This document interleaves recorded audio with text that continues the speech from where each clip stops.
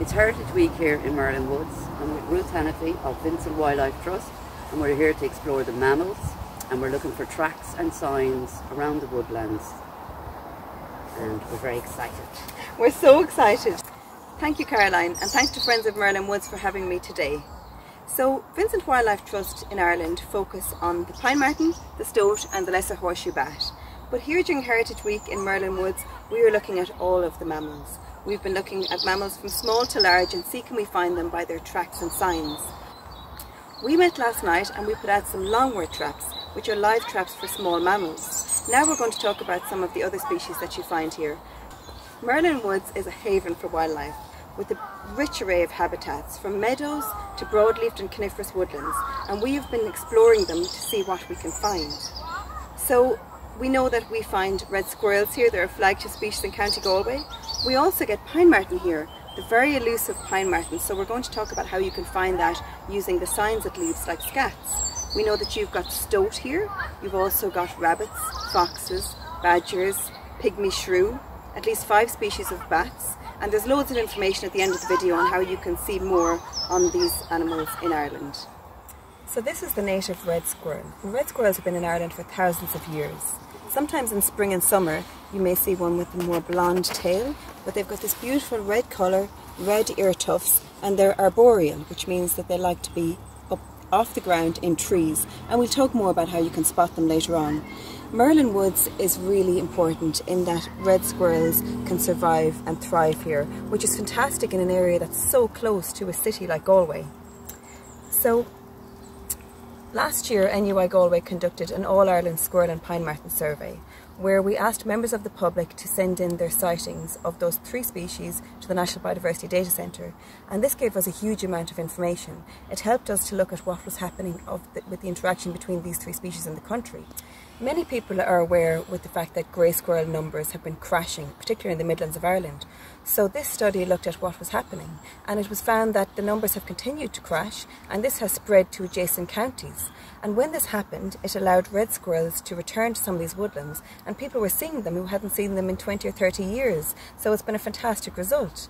However, interestingly, this has been linked to the occurrence of the pine marten. So it was found that in certain woodlands where there was a certain density of pine marten, it enabled the, the grey squirrel to be driven out and the red squirrel to return. So we're watching this very closely and really excited and enthused to see the effect it's having on a native species that, that was being pushed out by the grey squirrel. So this is the pine marten also in Ireland for thousands of years. It's a mustelid, which means it comes from the weasel family. Pine martens are about the size of a cat. They are also arboreal, which means they like to be off the ground, up in trees.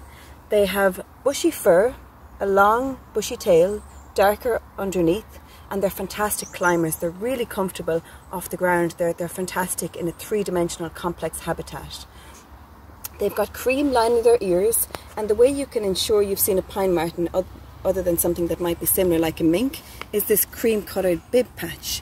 Now this cream coloured bib is unique to each individual, sort of like a fingerprint. So if you were to see a pine marten, or to photograph or film one on a trail camera, you can see if it is the same one that's returning by this pattern.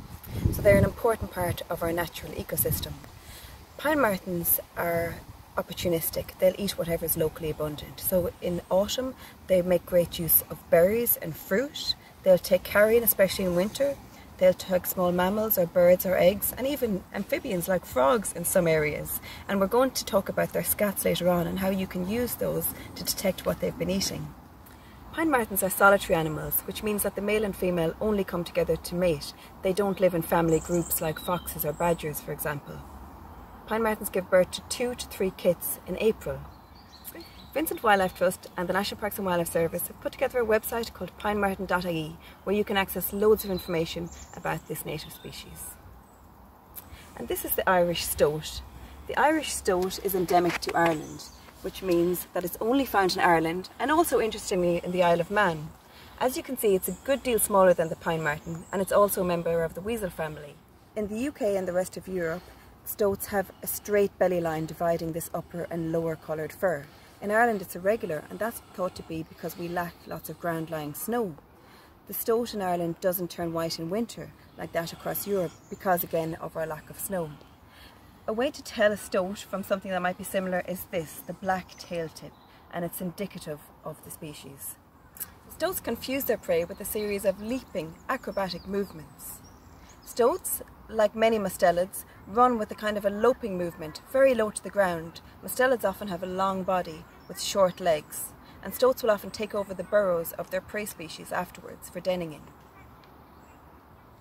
One of the ways we can study elusive mammals is through non-invasive monitoring and by collecting droppings, for example scats from a pine marten or spraints from an otter, these can be analysed for their DNA and their DNA can tell us so much. It can tell us the species, whether they're male or female, and the individual. So this is a great way that we can actively look at where animals and where an individual is, in, is existing along a river system or in a woodland without actually having hold of the animal itself.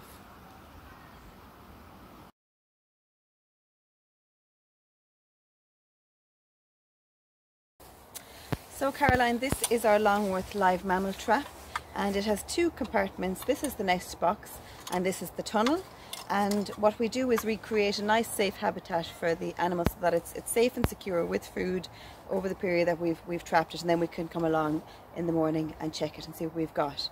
Now these Longworth traps have a hole in the back, you can see it there. It's a very small hole and that's in the trap so that a pygmy shrew can escape. Pygmy shrews are our smallest mammals. They're protected by law and you'd have to have a license to trap them. Pygmy shrews are also insectivores so if we were trapping pygmy shrews we would need to, to put in insect prey like um, blowfly pupae and we would also need to check the traps every two to three hours because pygmy shrews have to eat every two to three hours. They have a very high metabolism and they're also very nervous. So something like being caught in a trap could be enough to kill a pygmy shrew um, because they're, they're very nervous animals that are always on the go. So this is the precaution we take with the shrew hole.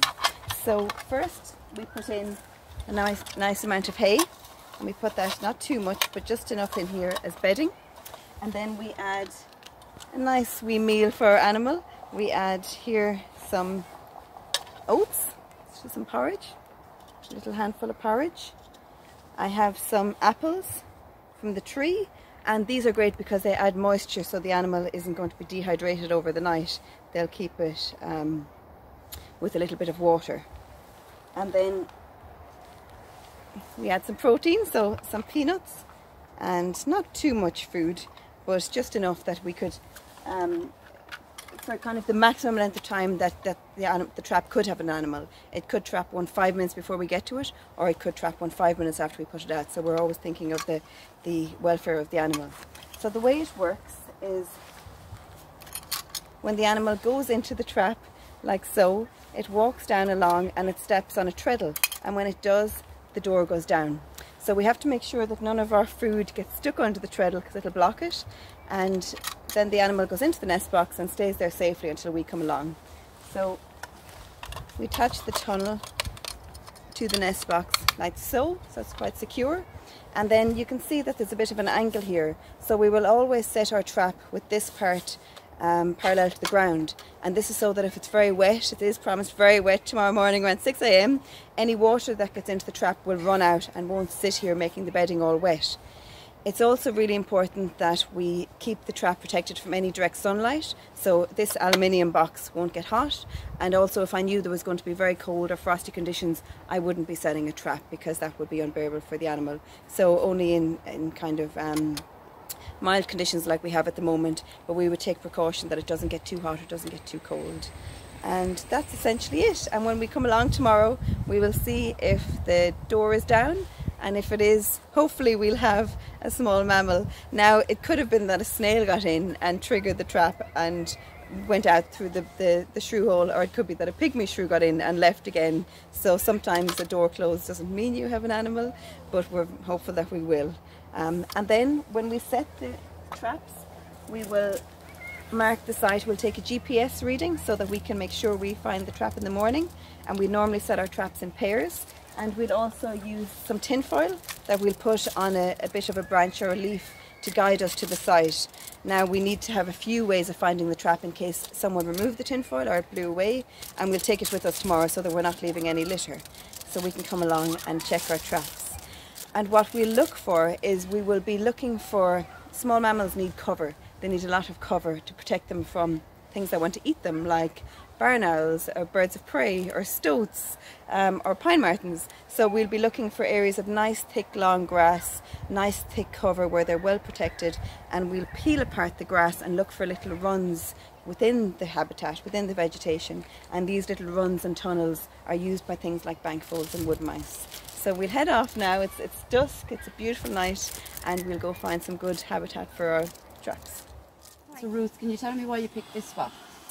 I picked this spot because it's full of moss and moss provides great cover and also this lovely stone ditch.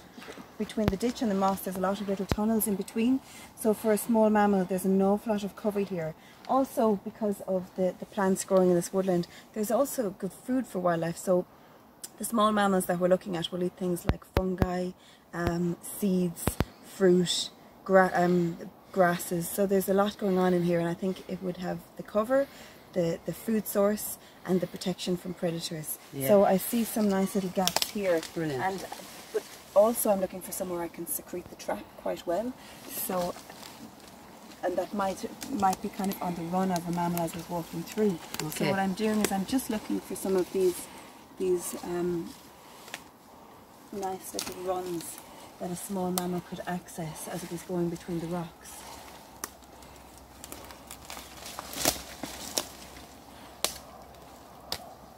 Underneath. So I'm going to put this you one in found here. one, yeah. I cool. have indeed. I, I like the look of it. The trap is well hidden out of sight. And and then when I've it set, I'm just going to do another check to make sure that the gate hasn't gone down on its own, the door. Yeah. And what I'm going to do is I'm going to get um, a piece of tinfoil now. And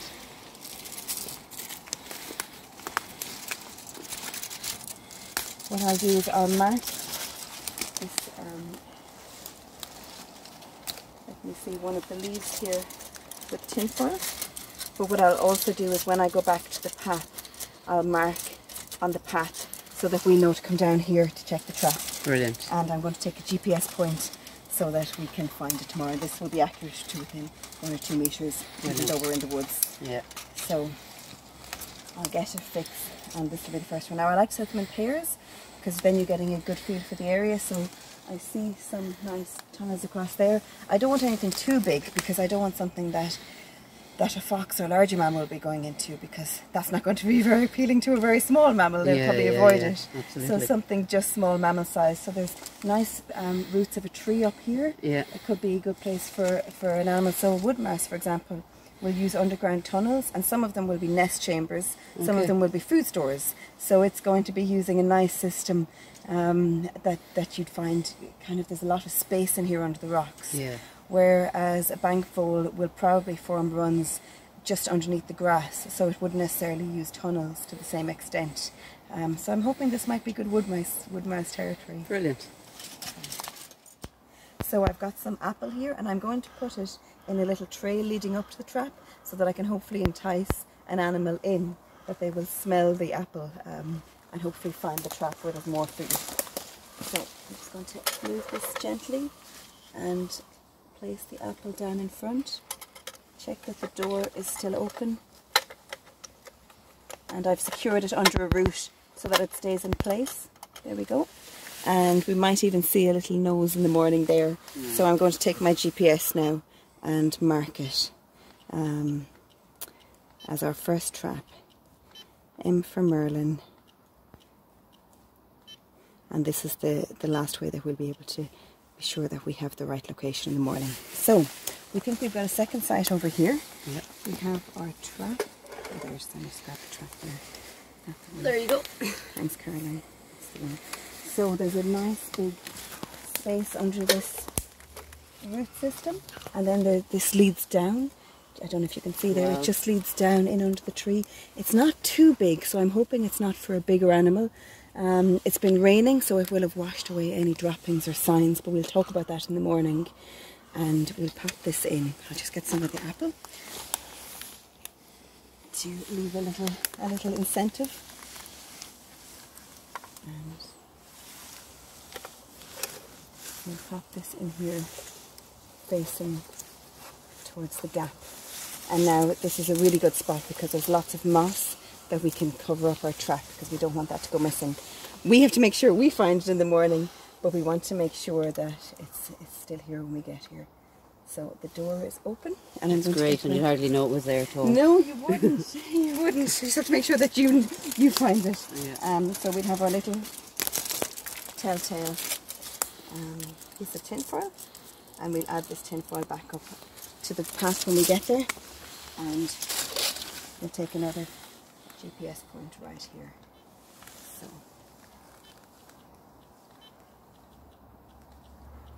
This is our, our second one. And these are fantastic. They'll even show us the route that we took to get here when we come back in the morning. So, Brilliant. let's go and set two more in a different type of habitat. Great stuff.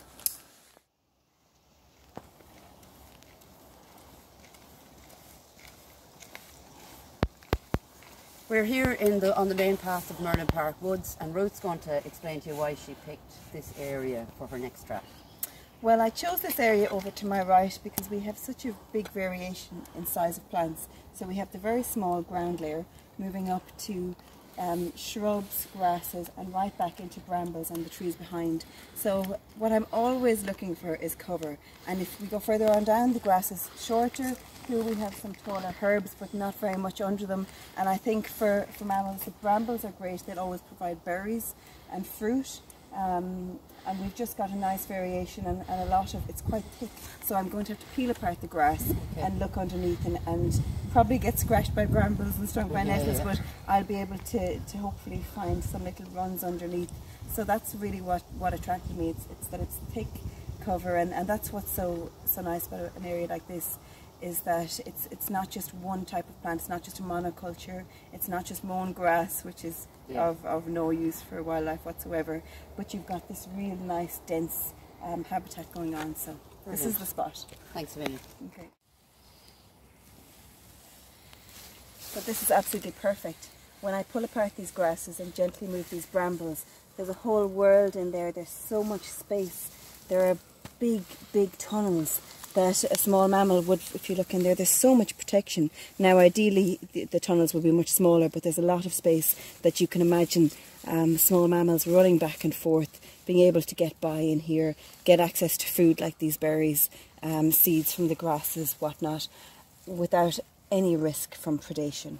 And um, so this is a lovely spot, and I'm going to put a trap in here. So I'm going to get my little handful of apples to put in first. And then I'm going to pop in the trap.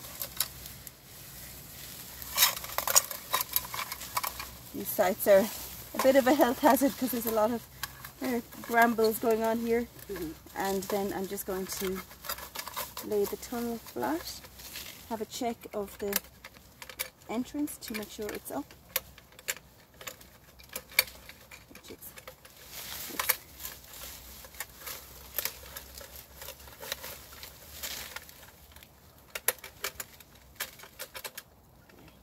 It's a very gentle mechanism so it doesn't take much for it to fall down and then I can perfectly conceal it like that which is very helpful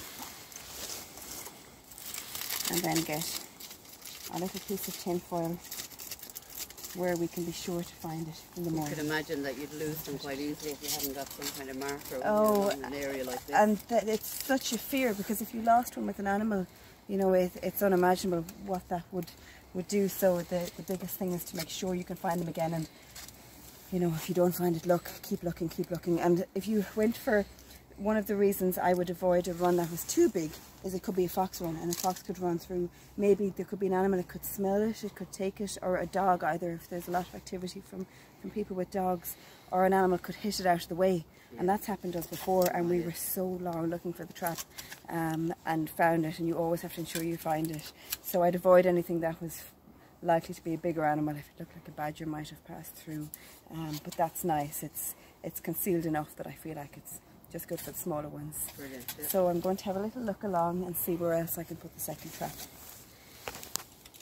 So we're back, it's the following morning. It's a lovely damp um, warm morning and we're at our first trap. So we found the tinfoil along the path. We've come down here to our next piece of tinfoil we're going to remove. And if we take away our camouflage, we have our Longworth trap. Now sometimes looking at the shrew hole, you can see a, little animal's um, nose there. So we're just going to gently take it out so that we don't knock apart the mechanism. We can see the door is closed and it feels slightly heavy. So we know that there's likely to be something in here.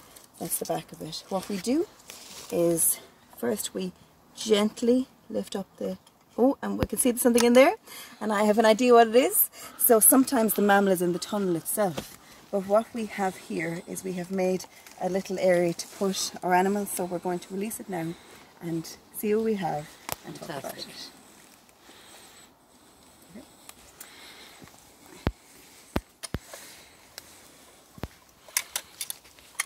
The tunnel is free so it's in the nest box. It's obviously quite comfy. So we're just going to take out the straw. And we have, oh, we have a bank vole. Okay. This is a bank vole.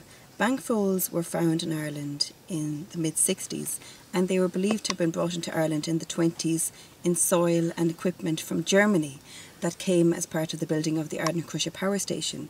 So they're technically a non-native species. So they were first found in Kerry and they've since spread across um, the lower third of the country, so generally an arc from Waterford as far as Mayo. And um, as you can see, they're reddish brown with small eyes, small ears that are tucked in, and a short tail. So hopefully we'll see a wood mouse shortly, and we can look at the difference between them. So a very small little animal. You can see it there against against my hand. Just a small little little little um, mammal. They're actually pretty good climbers. They can climb up a couple of feet to get to berries and they'll take fruit and berries and seeds and grasses. They tend to, when I was setting traps and I was looking for little runs, little tunnels under the grass, it was these I was thinking of because they, they don't necessarily use nests but they, they use little runs and tunnels along the grass. They've become an important part of the diet of many of the larger animals in Ireland, particularly things like barn owls, other birds of prey, um, stoats. So they've they've become, as you can see, they'd be quite a nutritious food source yeah. for a larger animal. And um, we tend to find them in, we've set along this dry ditch, so woodlands like this and um, grasslands would be a great place to find bank voles. So really lovely little animals. Um, they wouldn't live very long, they probably wouldn't see two winters. So if we look at the bank vole we can see that it's, um, as I said, it's got small eyes. They tend to be active day and night, so they're not strictly nocturnal species. And scent is very important to them. The males actually track the female through scent. Um, so they're very interesting little animals. Last night when we were down the path setting traps, we looked up and we saw a fox running from a path through here, across the track, and right in here under the tree into the undergrowth. So we followed the path in and we put up a trail camera overnight. We're going to go in now and retrieve the camera and see if we have any footage on it. So last night we followed the trail in here and we set our trail camera up on this tree here covered in ivy. We have it camouflaged so hopefully you can spot it. So this is all about learning to be a mammal detective and trail cameras are a really important part of that. So much of our wildlife is elusive and many species are nocturnal so unless we can find them through tracks and trails and prints we don't know that they're there. Trail cameras let us monitor and look for wildlife without interfering with it. So let's go now and look at our camera and see if we did pick up that fox, perhaps travelling back through this same path. So I'm just going to check the camera now, I've taken it down and see if we captured any footage last night after we set it up. So.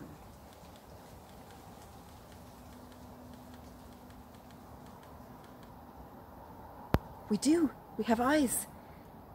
Let's see what this is and many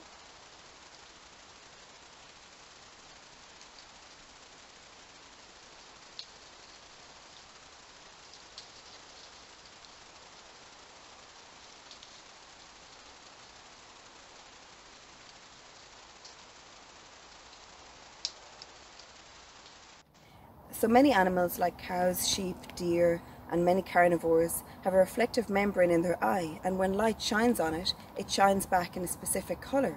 For foxes this is orange, for pine martens it's a brilliant blue. So when you see an animal at night time and perhaps in the torchlight, this can give us a clue to what it is. An animal with an eye very close to the ground could be a deer species feeding on some grass. Something like I've seen here about this high is hopefully a fox. So these are all clues to help us figure out what it isn't and then start to figure out what animal it is. So if this was for scientific research, we would examine the animal to see what kind of condition it's in. We would look for any ticks on its coat. We would be able to check whether it's male or female, and this is a male. We would measure the animal, its body length and also its tail length, and the length of its hind feet. We would weigh it, and they're essentially the main biometrics we would take. This is our little bank vole. You can see there the length of its tail is quite short, and the length of its body. So now we're going to release this little bank vole back into the vegetation where we found it. It's so cute. Places like this are superb for wildlife. Even just to look at this, it's just a feast for the senses. The colours are beautiful, we've lovely shades of purples and creams, there's a lovely scent off these flowers and this verge will change throughout the seasons. Here we are in August so we can see it's a real array of colours. We have tufted vetch, we have meadowsweet, we have purple loosestrife and it's not just gorgeous to look at, it's gorgeous for pollinators, it's fantastic for small mammals. Um, this is the kind of habitat we're looking for so you can imagine um, the, the difference between an area of short mown grass where there's no cover and there's no food and they're essentially what, what animals need, food and cover, to something like this where there's endless amounts of both of those. And as we move in towards the woodland, we have lines of bracken moving into our hazel trees and then our nice ivy covered trees. So there's just a variety and that's one of the most important things for wildlife and for nature, variety. So we're talking about native species mixes, not monocultures of one type, but a mix like this. And it's such a rich place and such a wonderful place to spend time also.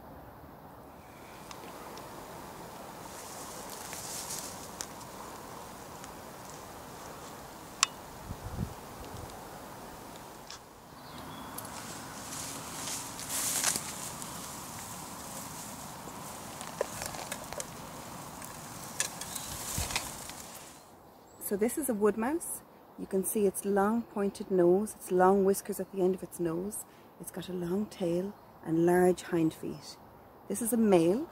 It uses its large hind feet for jumping. It's an excellent jumper.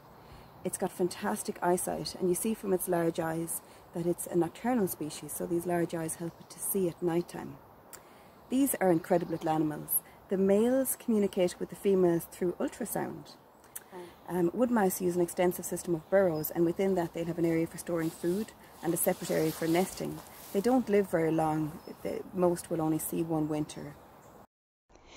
They have their long tail has skin that can be shed. So if this skin was grabbed by a predator, for example a bird of prey, it would shed the outside of the skin and then that part of the tail would wither and drop off. And for this reason we would also never grab an animal like a wood mouse by the tail. But again then we wouldn't grab any animal by the tail because that would hurt it. So this is perfect habitat for a wood mouse. It likes mature deciduous woodland, long grassland, and it prefers hedgerows. And Ireland is one of the most amazing places for hedgerows. We have over 450,000 kilometres of hedgerows. Hedgerows are incredibly important in this country because we have a very limited supply of woodland, especially mixed and broadleafed woodland. So hedgerows are like linear woodlands and they're really what allows a lot of our wild animals to survive here. So our hedgerows are really, really important. So the wood mouse is a very special animal in Ireland. It's one of the most important animals in the Irish countryside. And this is because of the way it feeds. It's a fantastic disperser of seeds. And also, it itself provides a really important source of food for animals like birds of prey, pine martens and stoats. It's been here since the Mesolithic, which is 9,000 years ago. So it's been here for an incredibly long time. So we're here in the conifer part of Merlin Woods and we are in search of red squirrels. Red squirrels are a really iconic species in Ireland and thankfully in recent years they've been making a recovery. It can be very hard to see red squirrels and as mammal detectives we look for ways to find them without actually spotting them. So when you come into an area like this you could listen we might be listening for something like a pine cone dropping to the ground. It could be dropped by a squirrel high in the treetops. They are arboreal species, so they're generally off the ground, up high in the trees. Alternatively, you could hear a couple of squirrels having a, a, playing or having a scuffle, so you'd hear them running around the top of the trees. So do make sure you listen when you're looking for animals, but then look down and see if there are any signs on the ground. We've just found some. We found these scales.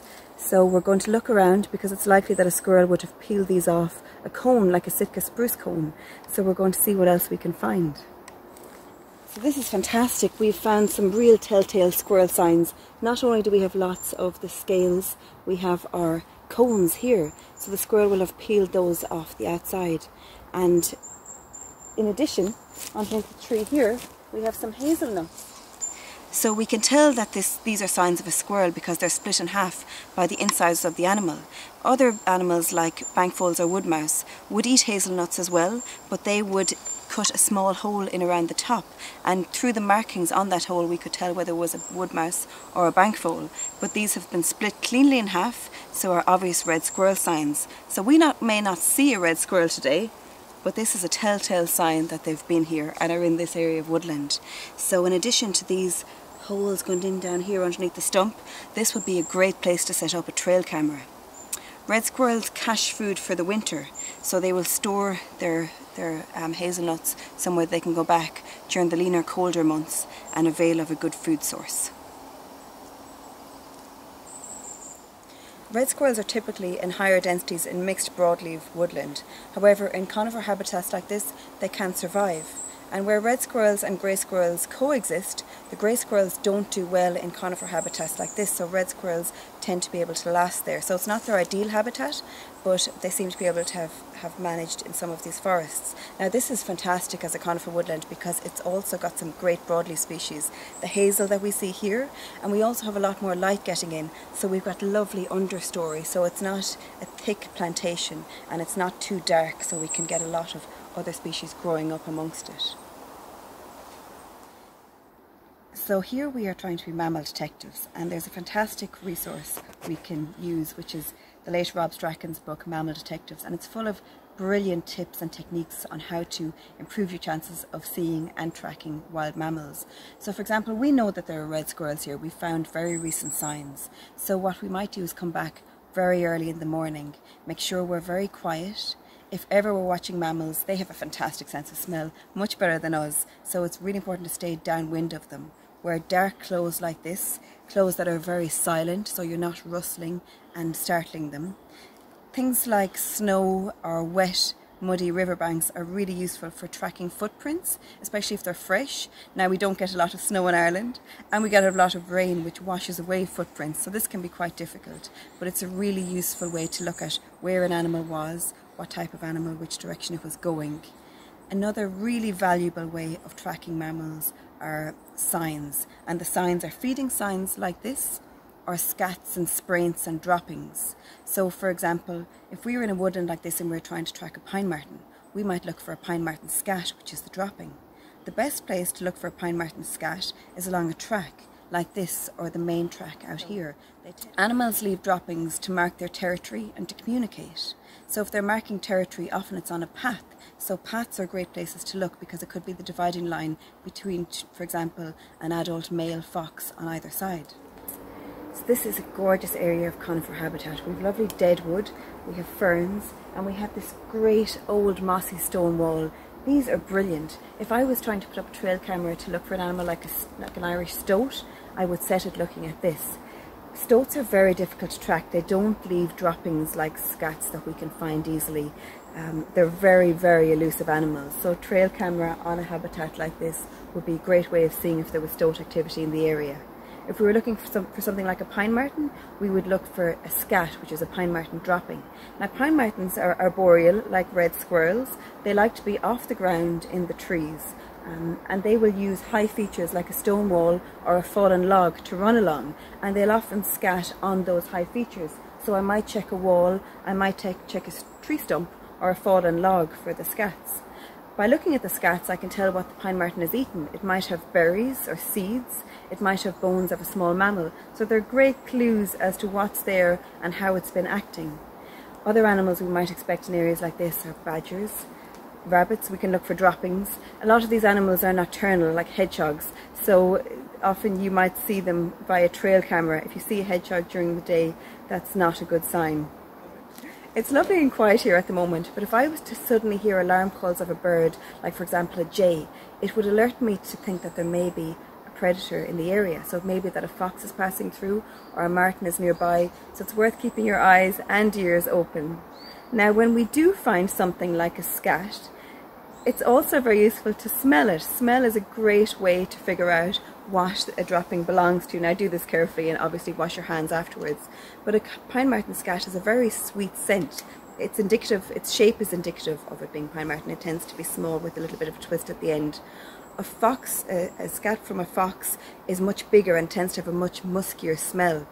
Additionally, if you were by the by the sea or by a river and you were to find an otter spraint, they tend to have a, a very strong smell of jasmine, very like jasmine tea.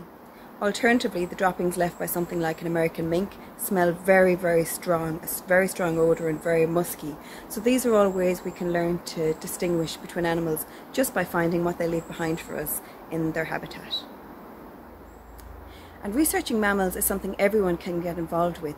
It's really important when people see an animal, whether it's a red squirrel, a wood mouse or a fox, to send their sighting in to the National Biodiversity Data Centre. The website is biodiversityireland.ie and there's also a fantastic app called Biodiversity Data Capture. So if you see the animal, you can record it straight away. You might even have a photograph you can upload. And by sending in these sightings, which is called citizen science, we can create maps and look at how trends have changed in where certain species are found in Ireland over time. It's incredibly important and really valuable. And this goes for roadkill as well as for live sightings. There are two mammal surveys underway in Ireland at the moment, and both are based in Galway. Elaine from NUI Galway is researching hedgehogs with the Irish Hedgehog Survey. So if you see a hedgehog in your garden, even roadkill along the road, please send in your sighting to the National Biodiversity Data Centre or by following the Facebook page and Twitter pages of the Irish Hedgehog Survey.